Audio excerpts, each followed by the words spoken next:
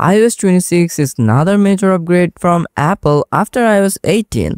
Many of you may have already tried to update your iPhones after seeing the posts and videos on social media.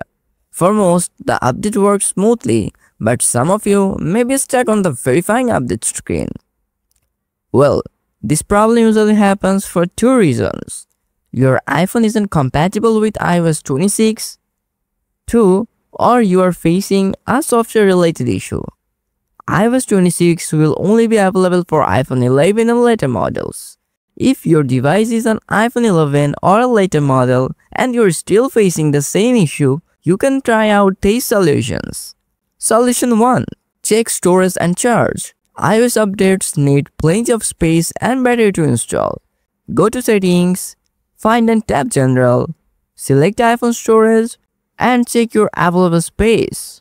Make sure you have at least 20 GB free for the update to go through. Also, ensure your update has 50% or more charge before starting. To be safe, plug your iPhone into a charger during the update. Solution 2. Restart your iPhone. Sometimes a quick restart clears up the problem. Here's how. Press and quickly release volume up, then volume down button, then hold the side button until the Apple logo shows. If nothing happens, release the power button, hold it again and wait. Once your iPhone turns back on, try updating again. Solution 3. Start over the update process. If the update file got corrupted, reinstalling it can fix it. Open settings, find and open general, open iPhone storage, scroll down and find iOS 26 update as it should appear in the storage space for you. If you find it, tap it and then select delete update.